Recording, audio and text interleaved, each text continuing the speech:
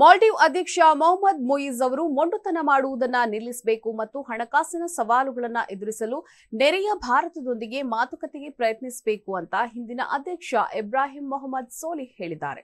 ಭಾರತ ವಿರೋಧಿ ನಿಲುವು ಹೊಂದಿದ್ದ ಮೊಹಮ್ಮದ್ ಮೊಯಿಜ್ ತಮ್ಮ ಧ್ವನಿಯನ್ನು ಬದಲಿಸಿಕೊಂಡಿದ್ದು, ತಮ್ಮ ದೇಶಕ್ಕೆ ಭಾರತ ಸಾಲ ಪರಿಹಾರ ನೀಡಬೇಕು ಅಂತ ಮನವಿ ಮಾಡಿದ ನಂತರ ಸೋಲಿಹ್ ಈ ಹೇಳಿಕೆಯನ್ನ ಕೊಟ್ಟಿದ್ದಾರೆ. ಕಳೆದ ವರ್ಷ ಸೆಪ್ಟೆಂಬರ್ನಲ್ಲಿ ನಡೆದ ಅಧ್ಯಕ್ಷೀಯ ಚುನಾವಣೆಯಲ್ಲಿ ನಲವತ್ತೈದು ವರ್ಷದ ಮೂಯಿಸ್, ಅರವತ್ತೆರಡು ವರ್ಷದ ಸೋಲಿಹ್ ಅವರನ್ನ ಸೋಲಿಸಿದ್ದರು.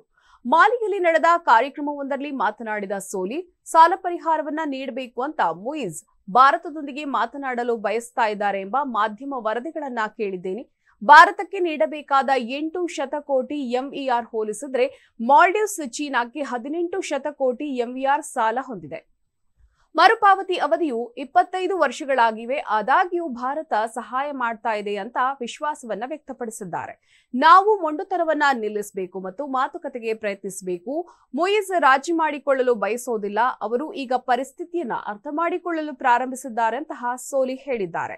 ಅಧ್ಯಕ್ಷೀಯ ಚುನಾವಣಾ ಪ್ರಚಾರದ ಸಮಯದಲ್ಲಿ ಮತ್ತು ನಂತರ ಮೊಯಿಸ್ ಭಾರತವನ್ನ ಟೀಕಿಸಿದ್ರು ಮತ್ತು ನವೆಂಬರ್ನಲ್ಲಿ ಅವರು ಅಧಿಕಾರ ವಹಿಸಿಕೊಂಡ ನಂತರ ಉಭಯ ದೇಶಗಳ ನಡುವಿನ ಸಂಬಂಧಗಳು ಹದಗೆಟ್ಟಿವೆ. ಮೇ ಹತ್ತರೊಳಗೆ ಮಾಲ್ಡೀವ್ಸ್ನಲ್ಲಿ ಮಾನವೀಯ ಮತ್ತು ವೈದ್ಯಕೀಯ ಸ್ಥಳಾಂತರಕ್ಕಾಗಿ ಬಳಸಲಾಗುವ ಎಂಬತ್ತೆಂಟು ಭಾರತೀಯ ಮಿಲಿಟರಿ ಸಿಬ್ಬಂದಿಯನ್ನು ಸಂಪೂರ್ಣವಾಗಿ ಹಿಂತೆಗೆದುಕೊಳ್ಳುವಂತೆ ಅವರು ಒತ್ತಾಯಿಸಿದ್ದಾರೆ. ಮೊದಲ ಬ್ಯಾಚ್ ಇಪ್ಪತ್ತಾರು ಭಾರತೀಯ ಮಿಲಿಟರಿ ಸಿಬ್ಬಂದಿ ಈಗಾಗಲೇ ದ್ವೀಪ ರಾಷ್ಟ್ರವನ್ನ ತೊರೆದಿದ್ದಾರೆ.